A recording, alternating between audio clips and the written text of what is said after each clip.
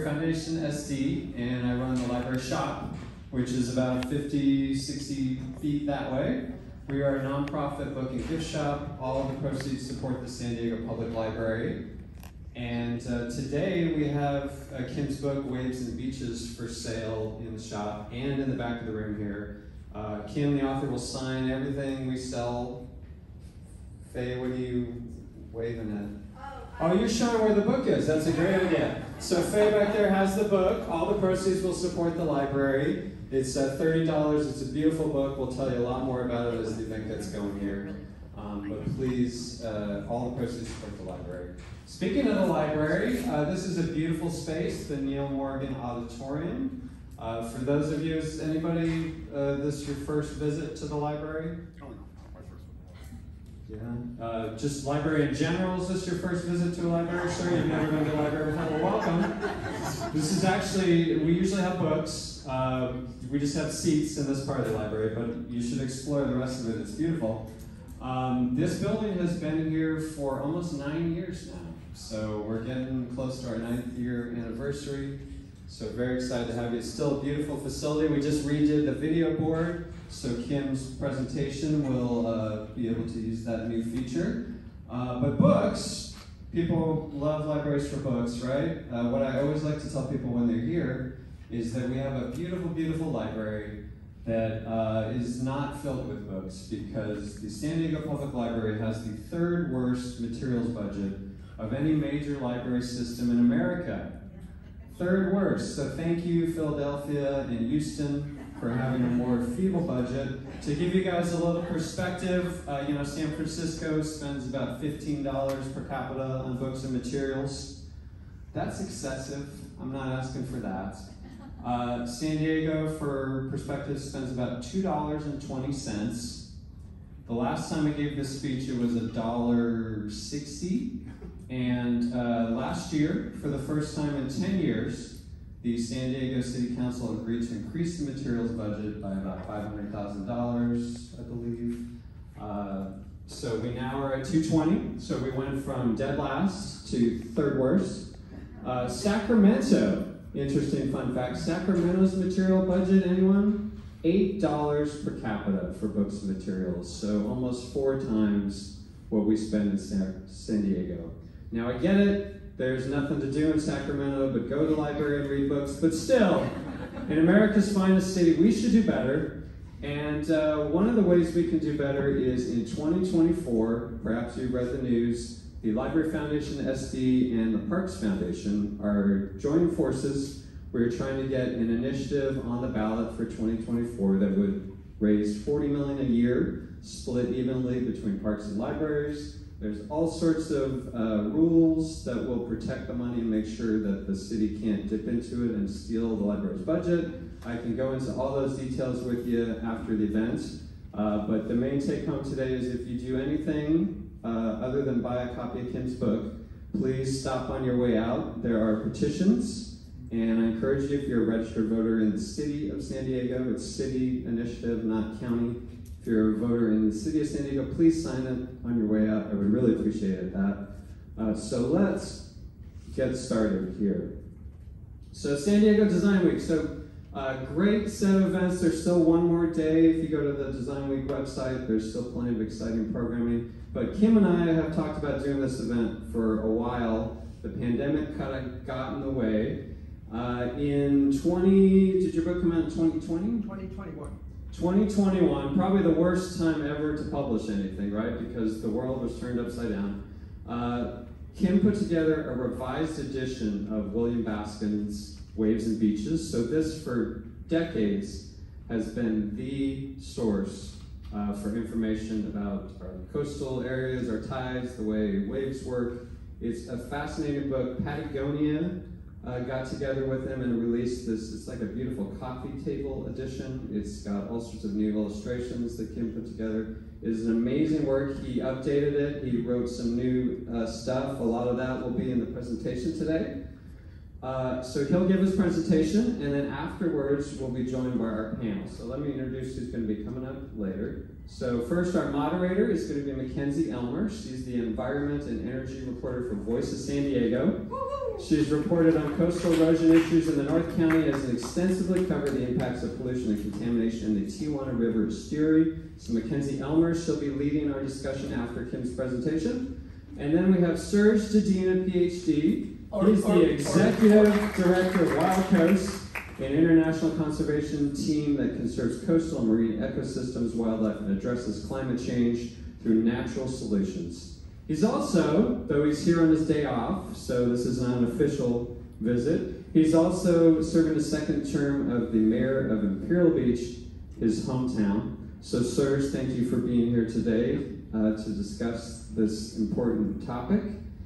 And then finally, we have our presenter today, a good friend of mine. I'm really excited that we're finally able to do an event to, uh, to focus on his book. Kim McCoy is an oceanographer and adventurer who has been seduced by beaches and observed waves on all seven continents. His ocean research began when the land and sea merge with surf zone wave dynamics and continues today with the coastal effects of climate change. McCoy was presented with the Scientific Achievement Award in 2018 for his work as a principal scientist with NATO in Italy. In March of 2021, McCoy published a beautifully revised edition of the classic work in the field, William Bascom's Waves and Beaches. So please join me in welcoming physical oceanographer not a metaphorical or a metaphysical, a physical oceanographer, Kim McCoy for San Diego Design Week. Please.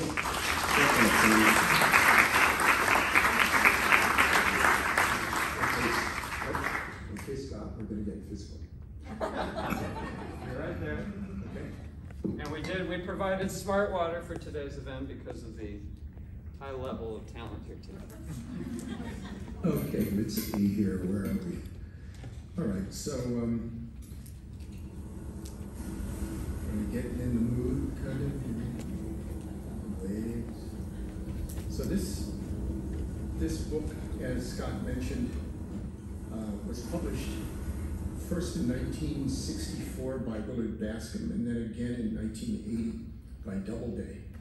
And it was used during the Cold War simultaneously by the Soviet Naval Academy and the US Naval Academy, just to give you a little bit of idea of how broadly accepted it was. It was translated in several languages.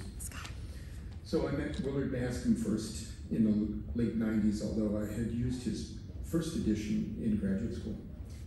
So I'll read a little bit from the preface and then we'll go into a presentation. It should last a little over uh, about 25 minutes.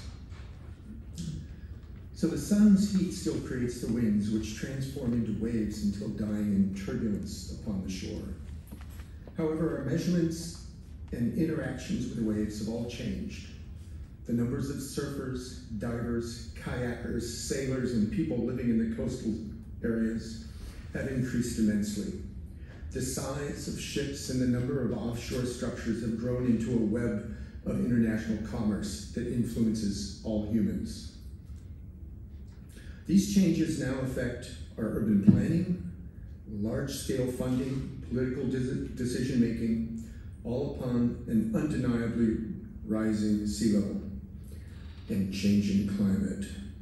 But still, by understanding the origin of coastal dynamics, societies can anticipate coastal changes and respond to those changes in support of the well-being of their members.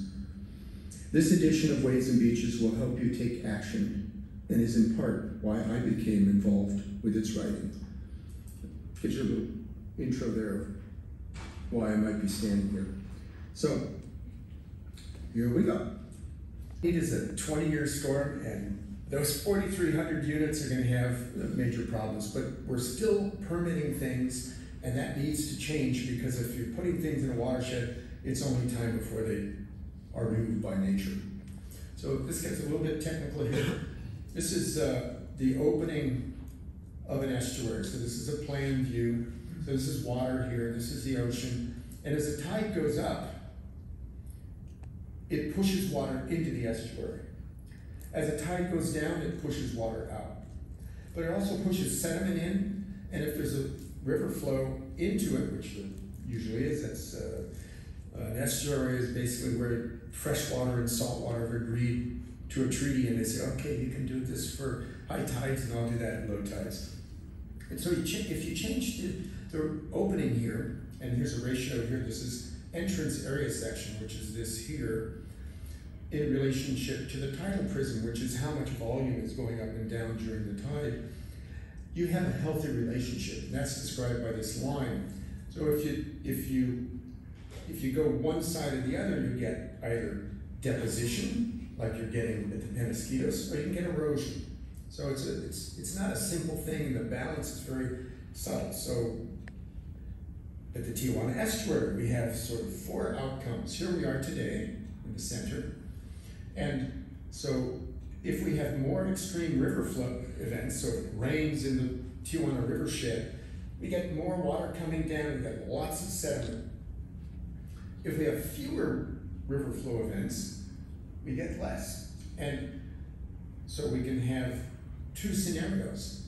We can have Lake Tijuana, which is lots of water, or we can have the mouth opens up of the estuary and then it just becomes a big lake.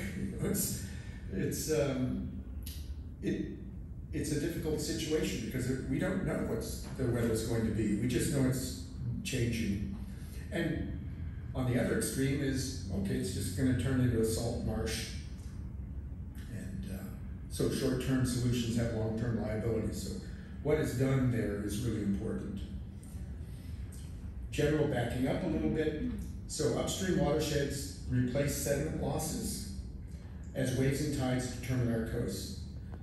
It will affect what's happening down in Imperial Beach. So you see what this massive watershed in comparison to that small Tijuana River opening. And the sediment goes north. That's pretty much what makes the Silver Strand and uh, Coronado. So you change the dynamic here, and lots of things start happening, not least of which is Imperial Beach disappears. At the coast, freshwater and saltwater mix continually, and when you pump fresh water out, what happens is it lowers the water table, and saltwater says, oh, cool, I can go in that direction. So it goes in that direction and it spoils the aquifer. So that water is used for drinking, it's used for irrigation, growing crops, and if those things change, the amount of people living in an area is, is, is changing, the amount of crops that can be grown changes. So further upstream, if it rains differently, you're going to have different influx of salt water, uh, fresh water into the saltwater system. So why do waves matter? A wave of climate change because the ice is changing in the liquid water, and the liquid water is changing in water vapor. It's changing the whole water system, the hydrology, how things flow on, where where rains fall, how much atmospheric uh, water vapor there is, and of course how much ice. I mean, the ice is a very visual thing, but it's hard to see. Oh, how much water vapor is there in this room? It's a very hard thing to see. But as it increases, that's one of the reasons why we're getting these changes in the Earth's atmosphere. It's becoming unstable. So you can view this as a, a wave. This is the sometimes called the jet stream. It's circumpolar, and there's one in the South Pole also. So when you have strong gradients, so when the air in the north is really cold and the air in the south is really warm, there's a strong gradient, things sort of stay in balance. It's like, you guys stay there and I'll stay here. Into the Sahara, across the Atlantic, pushing more water vapor and heat. It heats the water, which did, like the sea did not warm.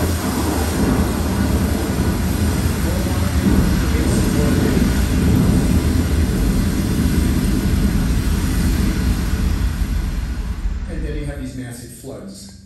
So you have things that happen in the coastal zone that are not just the storm surges, but they're also the water that comes down. So the water and the storm surge and the and the heavy rains meet at the coast, and it's disaster. So there's also waves of weather in biology. That's great. All right, now to the Q and A portion, discussion session, section of our talk. I know when I'm in the audience, I always have some kind of burning question. I want the moderator to provide some time for us to ask from the audience. So I know you guys have questions. We have a preeminent wave and beach specialist with us. So now is the time to ask, and I'll cue you for shouting out a question. But um, I guess I wanted to start by just talking about uh, Willard Bascom a little bit, who wrote the first few editions of this book. And um, I think even you used this book uh, as a student, didn't Grad you? student, yes, as I a did. student, yeah. You, um, maybe you need a mic too, if you don't mind. We have two up here to share. So, um, and so he was an explorer and a geologist. It should be working, I think. Hello? Yep. Hello. So he was an explorer and a geologist, and he even developed technology to. I think he dug the deepest into the Earth's crust. And Yeah, he was uh, responsible for Project Moho with a lot of other scientists in the late 50s and early 60s. yeah, he developed deep sea drilling technology, right? Yeah, he, he if you've ever heard of dynamic positioning, Willard Bascom invented that, as well as recommended to Bradner, Hugh Bradner, I think it was, to use neoprene for the wetsuit. Yeah. So, um, so then you became friends and and sort of started to write uh, this third edition together. But what my point is is I think the second edition was written in 1964. So.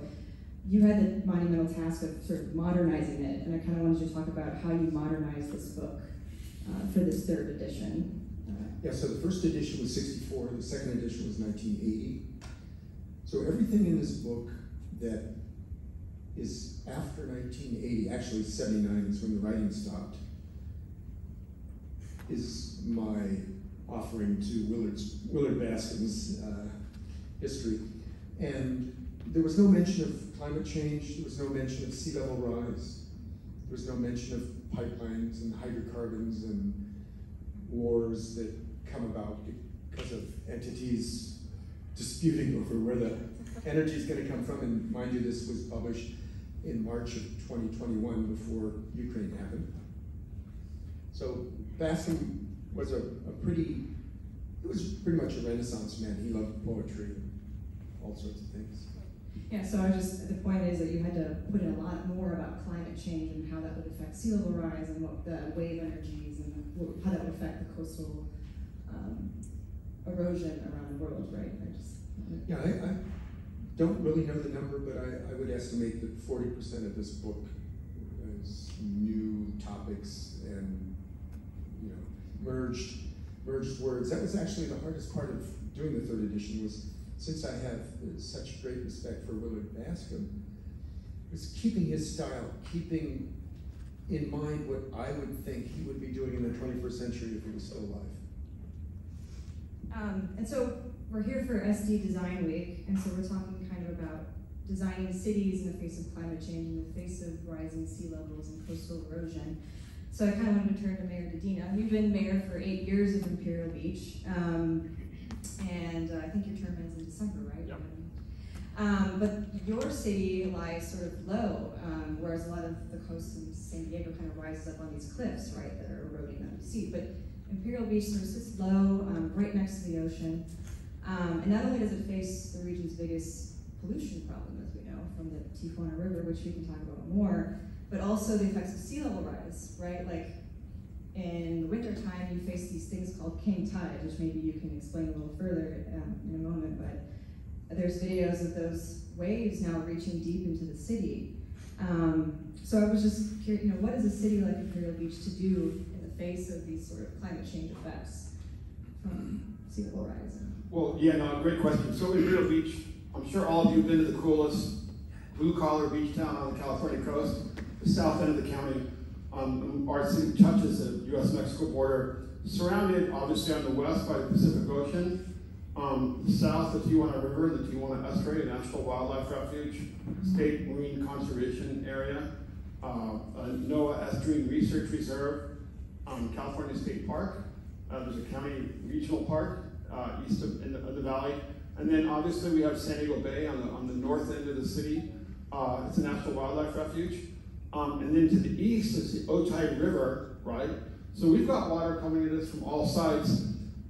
First, I just want to thank Kim and MacKenzie. I work very closely with MacKenzie. We're on the phone a lot talking about, and she's done a great job of just talking about all the nuances of all kinds of things to do with the Tijuana River and other coastal issues in San Diego. But I, I really want to thank Kim for just engaging me in this. I happened to be on his book launch.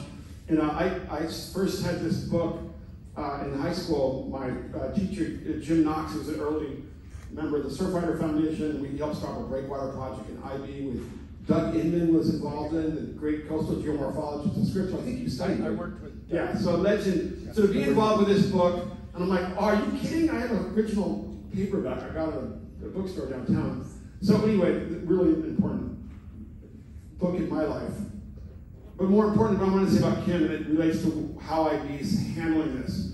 When you work with scientists who either at Scripps or got their PhDs at Scripps, they're unabashedly enthusiastic about science, applying science, working with people, and being in the field. And it's a joy to be with these great scientists who are in our city, right? Or talking about things. And I just love this presentation, love the book. So I wanted to thank you for that, Kim.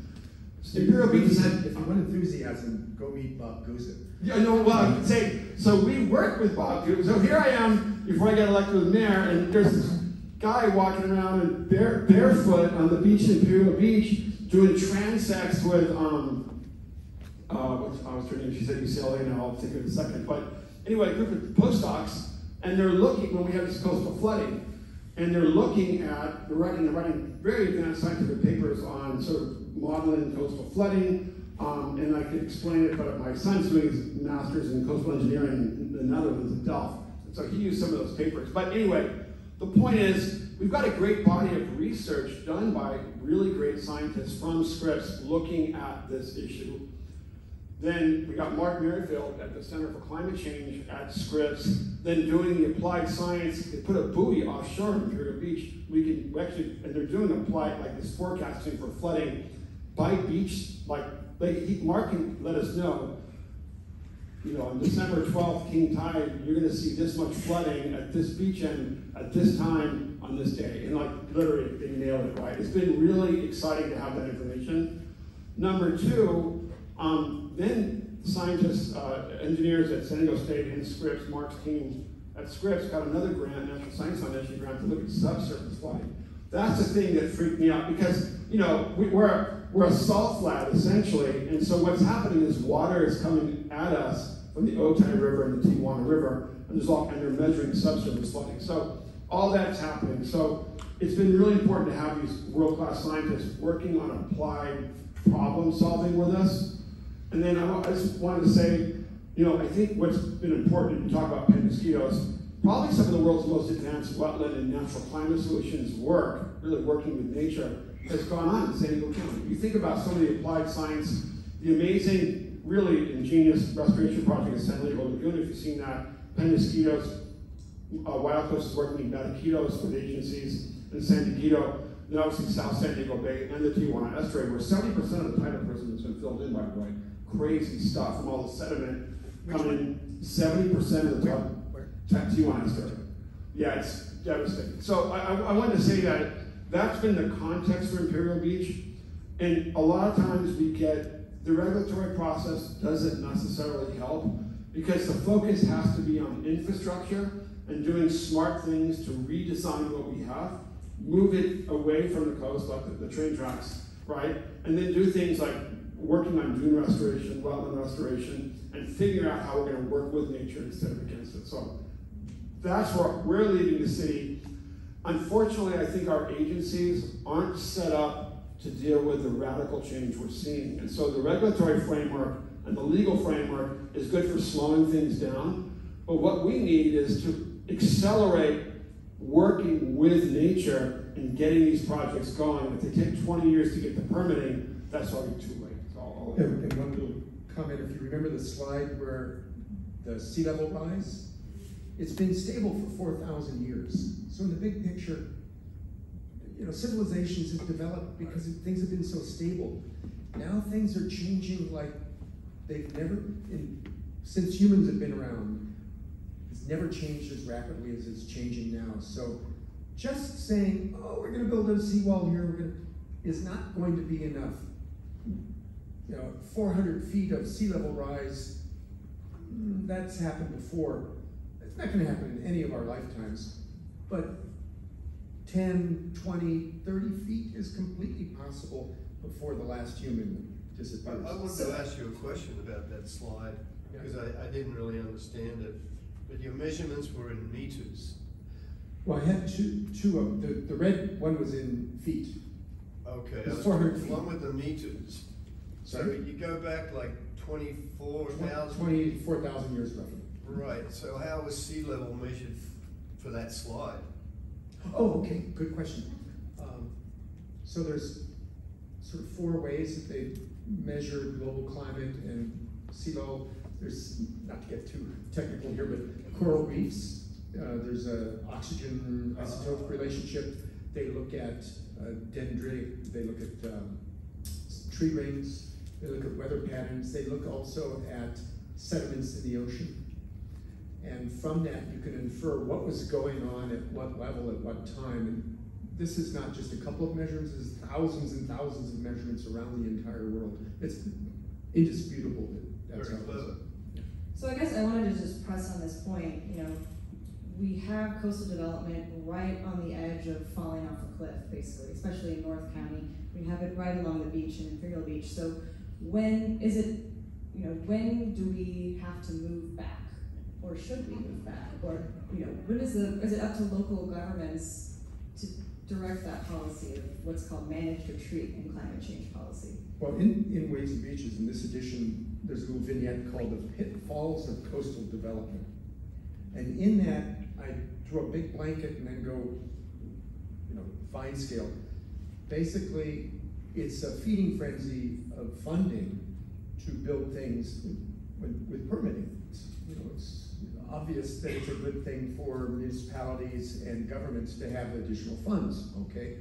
But Unfortunately, they permit things without thinking of long-term repercussions, and bonds are issued, and construction's great, people get new houses, and that's wonderful until things change.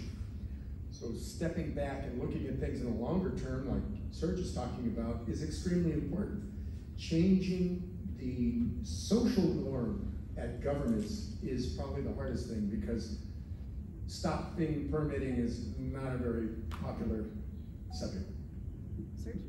So, if you follow the intricacies of coastal adaptation and sea level rise and coastal flooding issues in California, you've probably seen a lot of issues come out with Del Mar and then Imperial Beach. You may not have around what's called managed retreat, moving back. So- so- And I'm going to tell you a little story. What happened in with the Coast California Coast Commission? We had to do these local coastal plan updates that talked about how we're going to address sea level rise. Unfortunately, I think the focus became on private residences rather than the issue of infrastructure and what actual cities and governments could do. That correlates also with a lot of us who grew up on the beach assume that everyone knows about the El Nino floods and storms in the 1980s. Most people who probably live on the beach, a lot of folks have bought homes. You can imagine some of the wealthiest people in the world that can buy, you know, a $35 million home at, at Bird Rock. Um, they may have set two or three homes. They haven't seen that flooding. We haven't seen that kind of flooding in a long time in San Diego. That are so this whole issue of like the focus on managed retreat and focusing on private property owners created this firestorm for cities like IB and Del Mar that sort of inhibited our efforts to actually address things like infrastructure, train tracks, uh, water mains, sewer lines, electrical substations. And so Imperial Beach really took a step back to really let our residents know we're not going to move anybody's house. No one's going to get kicked out of their house. We are going to focus on the bayfront, you know, dealing with wetland restoration and infrastructure and adaptation measures that don't involve private property owners. And we are going to deal with the issue of how, how we're going to address infrastructure on Seacoast Drive and all the other things that we have to do. And if we had money to do that right now, which we should have had money when it was zero percent interest rates, we would have done it in, in two years. We would have taken care of everything because that's what cities are good at is doing infrastructure. We're not supposed to get in wars with private property owners. So you may not understand that context. I think the big picture for me in California is focus on infrastructure, infrastructure, infrastructure. take care of the natural climate solutions work. Let's do the wetland restoration work, watershed management, dune restoration. Let's figure out how to deal with all these bridges and freeways that a flow is happening all over the state. Let's focus on that. I think there's been an effort on that um, in, from Sacramento. Uh, I think the funding's been delayed because it was because of the pandemic. There should be more money now. So hopefully that answers the question. But we've been really focused on practical things you can do to do coastal adaptation work and trying to avoid firestorms of political fights that actually get us bogged down in meetings rather than actually doing real things that help us adapt the coast. Um, did anyone have a question in the audience at all? Oh, there's quite a few. Okay, um, I saw you in the back first. Can you shout it? Yeah, and I can't hear anything, so. Oh, are we, oh, okay, we're not gonna shout, I guess. We're gonna hand you a microphone. Here, Scott has a mic. One of the awesome things about San Diego Public Library budget is we can only afford two wireless mics. So. This question for Serge. Um, I love Imperial Beach, and as a landscape architect here in San Diego, I'm very interested in green infrastructure. Are there any forms of green infrastructure that are being employed in Imperial Beach right now, or could be effectively employed to help with flooding and dune restoration and wetland protection? Yeah, look, I, let this give credit to the folks at Tijuana Estuaries National Estuary Research Reserve. It's sort of like a lab. You know, that, goes back to even Joyce Zedler, who was at San Diego State. If you but she was a she's a wetland ecologist, botanist. She's at Wisconsin now. Um, guru, sort of wetland ecologist. She had a research lab in the, in the Tijuana Estuary. There's been a lot of history of sort of natural climate solutions and wetland restoration in the Tijuana Estuary that obviously can't keep pace with all the sediment flows, you know, freshwater flows, all the changes that have happened. But that's been a great start to see that, that kind of intersection between green infrastructure and then um, the wetland restoration. But we just, we're doing that now in Imperial Beach. So we redid our uh, Imperial Beach Boulevard. Everything you do now is because of stormwater, you're doing bioswales uh, in places. You know, all that you have permeable concrete so you can absorb more stormwater. It's fascinating to see all these new infrastructure projects. Really, really cool intersection of infrastructure improvement, stormwater sort of adaptation, but also green infrastructure. And the same thing on San Diego Bay, where it really has been under the radar, but we got listed on the governor's page on sea level, on climate change and sea level rise.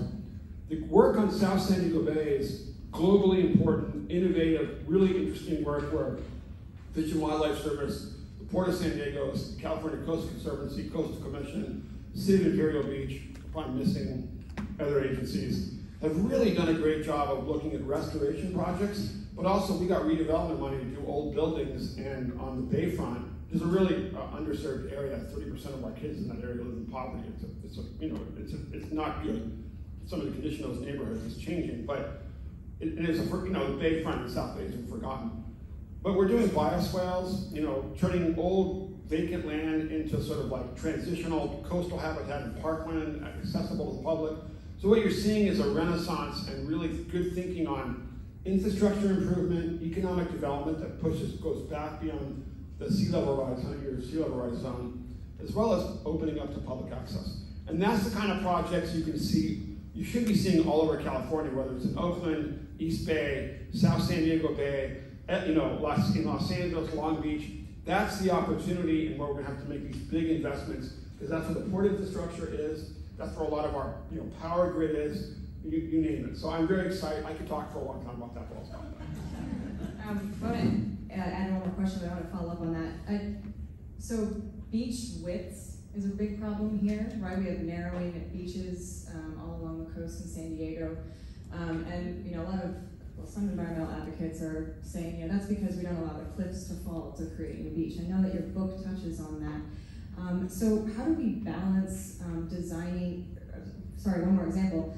In North County, to kind of address some of this, they're fighting over whether they should build jetties into the water um, to catch sand, to widen the beach, and all this sort of hard infrastructure.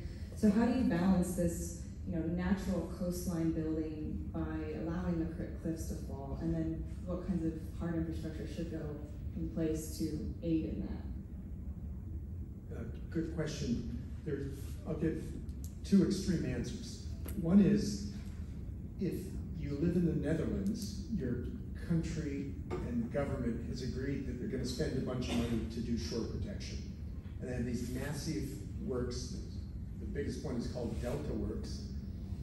And it's to protect the entire coastline and most of the, I think it's forty percent of Netherlands, Netherlands is below sea level. So we have this national policy that approaches it that way.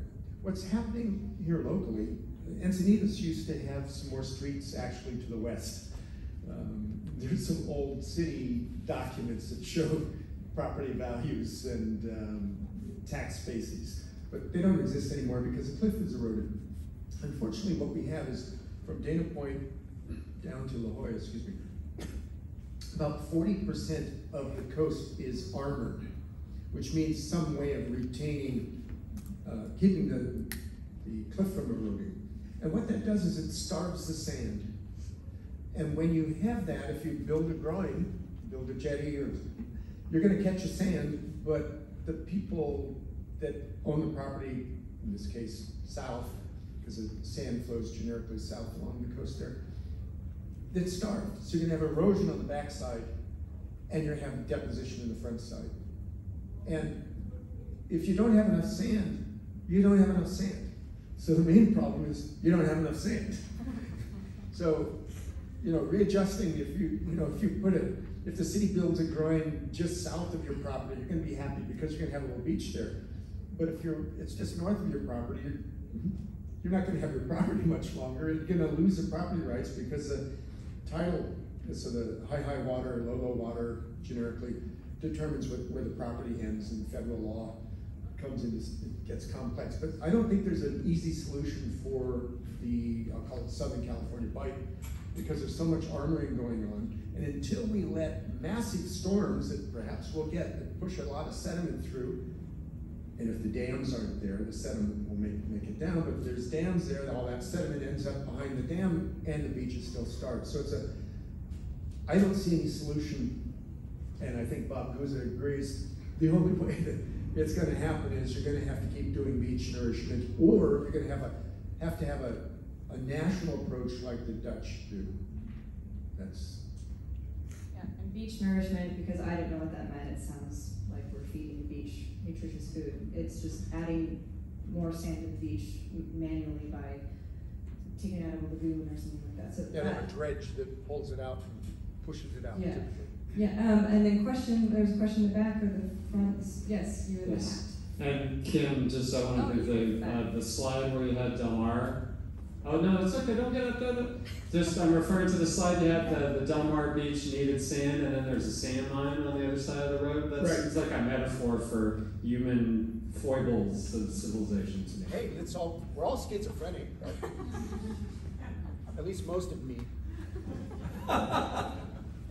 We've talked a lot about solutions, and I just wanted to make a comment. Um, I've been here a little over forty years in San Diego, and I've watched the continual schism between physical oceanographers and people in cities and working on infrastructure, and those of us that are biologists. And sadly, what I've observed is that the biology is an afterthought after there is damage to an ecosystem, then we start saying, oh, we need to restore. That's a word that's been used a lot today, is restoration. I mean, Imperial Beach was lucky that back in the 70s, because of the possible extinction of clapper rails or Ridgway uh, rails, we, we got some national funding. But usually the biologists are used as an afterthought or as a uh, obstacle to overcome. We have an environmental uh, evaluation done, an impact study that's usually viewed as, oh, how can we correct this because it's in the way of development. So I'd like to see perhaps more thinking right now that we have to uh, restore or we have to find a solution to the problems that we've created. But if we thought 40 years ago, which a lot of people did think, you know, if you disturb this ecosystem, not only are you going to disturb the animals and the plants and everything, but you're ultimately going to have a problem for human beings. And we still continue to issue these permits. I mean, some of us remember when there were cows in Mission Valley and the shopping centers promised that they would not come back to the city for funding because of flooding, because they were building in a flood zone for the river. But yet every year they get money, our tax money, to mitigate the flooding that they knew that those of us said is going to happen. So I'm saying right now, it's important, everything you're talking about is vital and important. But what are we also doing now to involve biologists in the initial stages to say, 40 years from now, you're gonna have a continuing problem? Thank you very much for that comment. Yes. Did you have a follow-up comment to that? Well, this is a slide up here that I didn't include because I had to keep it to twenty-five minutes, but I could talk for a whole hour on this one slide. And the physical oceanographers are intimately involved in the biogeochemical cycles, and we all have our disciplines. And luckily, there's better understanding. Back to the permitting process, the election cycles are very short compared to biological and geological cycles, and certainly very short in comparison to sea rise, sea level rise. So get people elected that pay attention to the long-term problems with long-term solutions. Because if we don't, we're all gonna die. Like, like in, in Lawrence of Arabia, you know, going across the desert and, and, uh, the one guy says to Lawrence, he says, in front of us is the desert. No water until the other side. If the cows die, we die. Yeah, I, I just want to say, I'm, I'm actually really bullish on, on restoration. I- I'm going to give some practical examples. And I, I get it. You know, I, I think I think we're seeing a lot more advanced types of projects, integrated projects with, you know, the focus really at the end of the day. For example, Pond 20 at the south end of the National Wildlife Refuge in South San Diego Bay. It's 80 acres under ownership of the Port of San Diego. Um, they have an MOU with the city of San Diego and the city of Imperial Beach to restore that. They're going to get mitigation credits from the Poseidon Plan and in Huntington, that fell apart, so we still have to work on that. But the idea is that it's going to be restored to full endangered species sort of habitat. Um, and if you've seen the restoration that's gone on in the south end of the bay, if you haven't seen it, please do it. It's remarkable to see how the minute they turned open water into marshland, the Fish and Wildlife Service got that going, um, birds just started coming out, right? So it's been really remarkable to see that restoration. I'm really bullish on what Audubon, they're big friends of ours at Wild Coast, with rewilding Mission Bay, and it's a Kendall Frost Marsh for at UCSD as well. I think the idea of getting some more natural features into Mission Bay is brilliant. Let's rewild all of Mission Bay and do as much as we can in San Diego Bay. I, I'm really a big fan of what's going on in, in uh, San Dieguito Lagoon. I think there's been a lot of great restoration there. I just visited the, up, the upper phase two of that project. And then Wild Coast is the organization I run. We're doing very focused, getting rid of invasives and putting in very specific list of endemics, you know, native species that also help sequester carbon. I think the folks at Salk Institute doing some great research on that. So I'd say that we're really just in the incipient stages of integrating natural climate solutions, what we call blue carbon, sort of carbon sequestering, carbon storage, sort of uh, restoration type work, but also enhancing uh, species, uh, ecosystems or species. And you know what you're seeing with rewilding, doesn't matter if it's Europe or the forests of Poland or here in San Diego, when you build it, the wildlife come. It's really, you know, and it, but, and it really takes great biologists to work with the ecologists and the physical oceanographers to define those systems so they do work for fish, people, and, uh, and wildlife and plants. So anyway. And we're a bit over our time, but if we had just one last question up front, I think we could, if you guys want to stay a little bit longer. We're in no hurry, so Yeah. maybe Scott is. Thanks for taking my question. Sure. Um, I make science documentaries for outlets like PBS and Smithsonian Channel, and I'm wondering how do each of you wish that entertainment media would talk about topics like sea level rise? Um, and I'm interested in each of your perspectives as a scientist, as a journalist, as a public official, and um, activist. Are we being recorded right now? No. I Had to ask. Um, what, you want to start with that, Kim? No, go ahead, go ahead. How, do we How address sea level? how do I, as a media per- person, wish that media was addressing sea level rise? um, I, I guess it's great that you're doing, you know, long form video work on it because I think the visual aspect of showing, you know, of climate change is really important. I mean, there was a comment about uh, that Kim made about the, you know, elect leaders who have this sort of long term perspective on climate change. Well, an election, or I'm sorry, a elected position, their term is usually only four years or eight years. Um, and so it's really hard, I think, for elected leaders sometimes to be able to get the political clout to make those decisions that are going to stick long term, right? I mean, City of San Diego right now, they passed a very long uh, climate action plan, uh, net zero by 2035, but they have to actually, you know, stick some um, some of those like deadlines on some of those actions that they want to make, and that takes a lot of you know political risk to have to say no, we're gonna um, you know move move development back to this position on the beach or something like that. Um, so I guess I would just say continue to do what you're doing and, and showing videos like the King Tides and Imperial Beach that show them sweeping into the city. I mean that's a very visual aspect of sea level rise that I think people uh, need to share. So. You you look, I, we learned in Imperial Beach talking about getting stuck in this managed retreat vortex that was, you know, took us away from coastal adaptation and was, you know, hugely allowed us to really realize how you communicate climate change. First, humans aren't adapted to talk about things that are going to happen in 5,000 years, let alone tomorrow. So I think the coastal flooding, we did a lot of media around coastal flooding, and we don't talk about sea level rise, we talk about coastal flooding. Overwhelmingly, people can rally around that, they can see it. Some guys deny it. Don't ask people I've known my whole life, whatever. But um, it's all of the above, and I think what we learned in those meetings is having a meeting with 150 people is an absolute waste of time. If you're having a meeting on something like sea level rise or climate change with more than 10 people, you're wasting your time. You have to have small, intimate meetings, to have deep conversation with people. It takes time. And I told the head, of, um, Jack Ainsworth, the head of the Coastal Commission, this, we, we need to learn how to communicate better. And it's painstakingly deep work. It takes time because people don't think long term. Most of us don't. And, you know, that's just how we are. So, anyway. Yeah, this slide is not the way to communicate to the general public.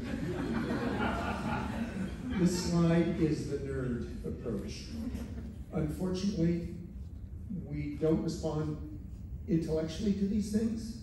Most of us, it's a visceral response. So what Serge was saying about show the flooding, show these things, and bypass the emotionally charged things, the politically charged terms, and just show what's happening. Because most people will believe it when you show, you know, Imperial Beach during a king tide. And those things are pretty predictable. You know, it's just astronomical movement, movement of the sun and the moon and the, and the earth about each other that creates king tides. Are very predictable. So these things, not only can you anticipate them, you can say, look, this is going to be occurring. And then you go and document it. And those sorts of responses are, are the way to get at people. Just a little vignette with what happened with uh, um, an approach to global warming and greenhouse gases. There was about 30 years of studies done, Hansen, I think is the guy's name, and he said, we've published, it took us 10 years to write this paper, and we've written it, and they publish it, and it, you know, it's like, oh, all the scientists go, oh, wow, that's really good research and all that. And then, for lack of a better term, the climate denier entities write one really well-written PR piece, and it negates 30 years of research and 10 years of writing the paper. So getting that visceral response is much more important than showing a slide like this. Okay, I think. Uh, well, I think we have time for one more question. Okay. And those of you who have been to an event here at the Library Foundation and the library know that I asked the last question. But we, we, uh, Serge, I promised Serge would be out of here by two thirty, but we, uh, did- if we had a quick question, sir, did you want to do a quick one? And then I'll finish up. So Kim, on your, one of your slides there, you uh, mentioned uh, Mission Valley and their recent approval of Riverwalk, and uh, it sounds like you're fairly critical of it, so I'm curious the specifics of what you uh, opposed about it, and certainly I'd love to hear your comments as an elected official. Um, Had this maybe been a Imperial Beach, how you might have addressed it differently, the approval of that project. My, my response to Riverwalk is not one of massive data, other than myself going to conferences down in Mission Valley and having to turn around because it was flooded. Now, some parts of that area is higher, but as long as the upper reaches of the San Diego River watershed are being influenced substantially by human building and, and uh, influencing the runoff, we will have a storm, maybe not in my lifetime, but certainly within the lifetime of those buildings, and it'll take out a lot. And it's just simply too low. I'm sure not all of the 4,300 structures are too low, but there's certainly a lot of the stuff, the infrastructure that is being built that is too low for the river drainage. You want Oh, no, I didn't see That's you wanna. fine, that's fine, no, I Okay. just, I, I was just, uh, I, I guess, you know, those kind of decisions are political, there's a big, uh, large need for increased housing in San Diego. And I think, Kim, what you're saying is that's just the wrong place to put it. Well, there's a lot of money involved. You know, it's, there's a lot of money involved. You know, what's, you know, Serge and the Mexican government, they're ecstatic about four hundred million dollars being spent on that problem. The Riverwalk is four billion dollars and it'll be done before the estuary is done. It lets you know where the energy is being put. It's being put in places that will generate jobs, generate houses, tax uh, revenues, and all sorts of other things to churn the economy, okay? At what point is growth too much? There's a very good book written by Václav Smil, S-M-I-L, called Growth. Read it. There are limits to growth. In ecosystems, like the woman uh, in the back mentioned earlier, and there are limits to the physical world. And if we deny those existences, we're just in for long-term problems that are just cost taxpayers more money in the long term. I was gonna say there's also a height limit to coastal development west of the five in San Diego, so that's another limit. on- on Except for. UCSD. Right. Um, thank, thank you, everybody, for being here. This is the most brain power we've ever put on the Neil Morgan stage in once. So thank you guys for doing such an amazing job. I do want to remind you on your way out, uh, we have books for sale. Will sign anything you buy. You're welcome to hang out and, and continue the discussion with us. Get your parking validated on the way out. It's inside the lobby at the information desk. There's a tower. It'll scan. You get your two hours free. Thank you for coming to Design Week. The last question is a super easy softball. Since we are inside a public library, how have public libraries impacted your lives? So just one by one. Oh, you laugh. Everyone has an answer to this question. I am eternally grateful for libraries. My wife right here, who helped a lot on the book, Marianne, recognizes when I go, oh, I want to go to that library. And it happens all over the world. It started when I was about nine years old. I lived on the Monterey Peninsula. And because of domestic issues, my safe refuge has always been a library. I will go into a library when I have extra time and go, oh, there's a library. Oh, I'll go pop in and look. So it's been extremely instrumental, not only in my well-being, mental well-being, I don't know if it's still there, but um, certainly in my interest in oceanography was spawned in the Monterey Library and also going to Cannery Row. I go, oh, let me read about this. Oh, there's John Steinbeck. Oh, he's a local. Oh, I'll read that. So the library is completely merged with my being. For me as a journalist, I mean, we actually still do use libraries, yes, it's not all just the internet. In fact, I had to use a, I had to research something and there was a, I couldn't buy this book, I needed this book so bad, it was a border topic actually. And it only existed in the top floor of the library in the special collections section. So I had to sit there and copy the entire book. So I had this information that I could not get anywhere else. Um, and I also say I'm grateful. The library bookshop is why I'm here. I went to go find a gift for my friend who was graduating from her oceanography PhD, and I was gonna buy this for her, but then I fell in love with it. I kept it for myself and got her something else. But um, Scott and I, we met over this book, and so that's why I'm, I'm here on the stand today with, uh, with these two gentlemen. So I love libraries. You know, my parents were immigrants, and uh, they both escaped war in Europe, and uh, took advantage of every free and cheap thing in America. So I grew up in LA, in, in Imperial Beach, and in the library, literally. Library huge, huge deal. Uh, for my master's thesis on the history of Tijuana River Valley, used the California room. The archives in the California rooms, they still exist here. They used to in the old library. Amazing collections, right?